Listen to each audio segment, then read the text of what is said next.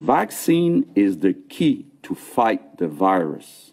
This is why we're looking uh, for a an health contribution for adults who refuse to be vaccinated for non-medical reasons.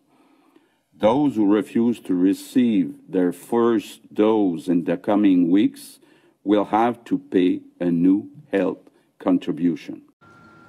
Is, is unvaccinated people that are filling up the COVID wards, and that's why schools are locked down right now. That's why my daughter's in front of one computer today, and my wife is in front of another trying to teach. Like, that's why this is happening. And you know what? It's not the fault of the measures that we've taken that created this problem. It's the fault of those who refuse to do their part. So when it comes to this idea of mandatory vaccinations, it is a serious conversation that needs to be had. And it's not about politics. It, the only people that are making this about politics are people who are trying to ride the wave of a small minority of a single digit number of people who want to be absolutely antisocial and refuse, who believe it is their God given right to put the, risk, the health and safety of others at risk just so they can avoid a silly little needle.